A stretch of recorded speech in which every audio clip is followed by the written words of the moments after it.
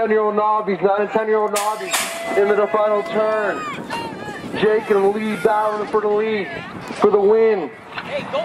Main event 16, Sussman, Moore, and Rund. Sussman and Rund battle 10 and 11X out of turn one.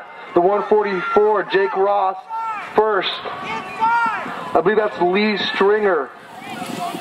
688 second and 784 third. Tyler Sled. Bar to bar into the final turn. Sussman on the inside. Run. Shopping for Napa Valley Crush. Little high low. Call right here. Drag race to the stripe. It's going to go. Parker Sussman, Maxwell Rund, and Nathan Moore. Nathan for Hooligans.